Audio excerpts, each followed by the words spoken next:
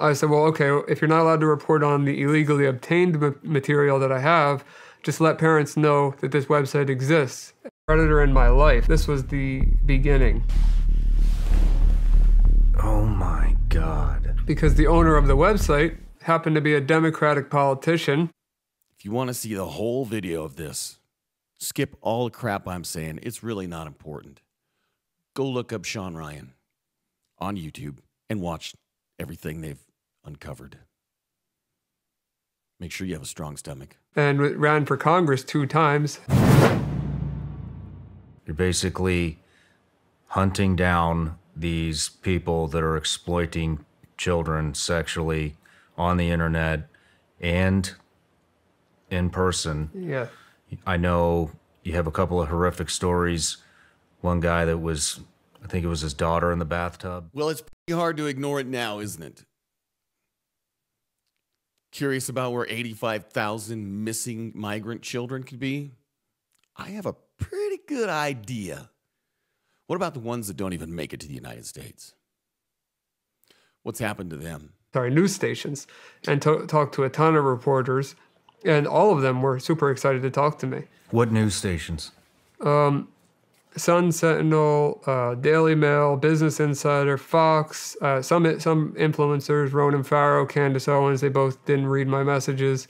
Um, but as for the news stations, uh, they, you know, I had full conversations with the reporters. They knew what they were getting themselves into. They were very excited about reporting on it. And once it got back from legal, they weren't allowed to report on it.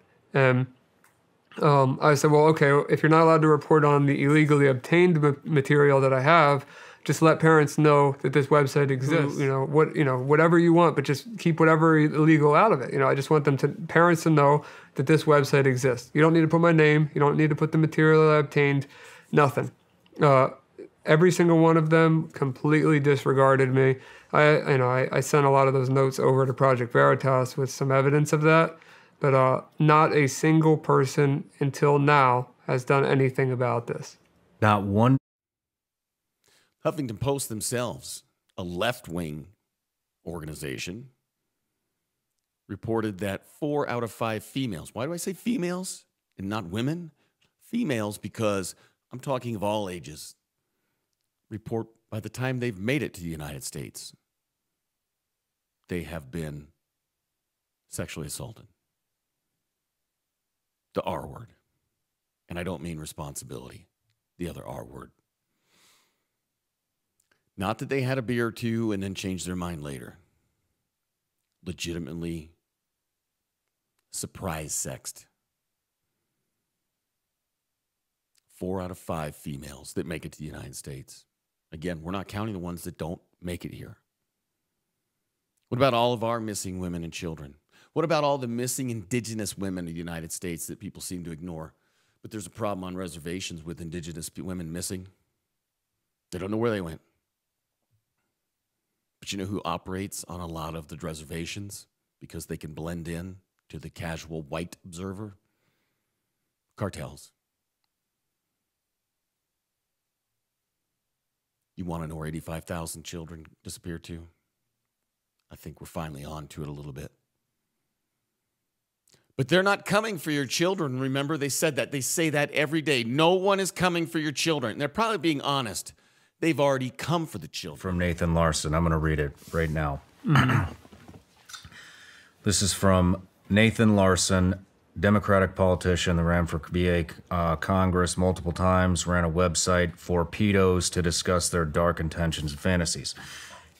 Here's the quote It's not enough to kids and take their innocence you also need to reproduce the next generation with them. Let them see that you prefer to the offspring you have with them than to continue to have with a woman who is no longer jailbait. The quote continues But you can still sometimes. Just let her know, though, that what you love her for the most is producing with you is producing with you a fresh, new, young girl, and that this is her main value and contribution hat. You think fondly of her. This is disgusting. I'm sorry. You think fondly of her for because that beautiful daughter reminds you of her.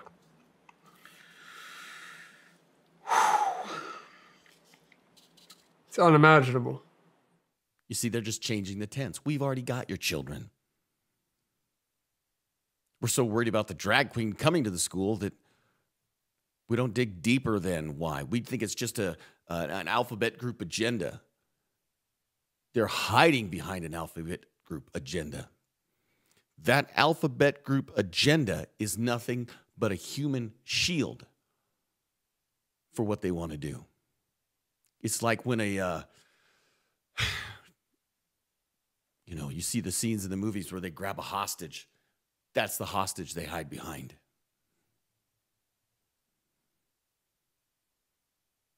That's the hostage they hide behind.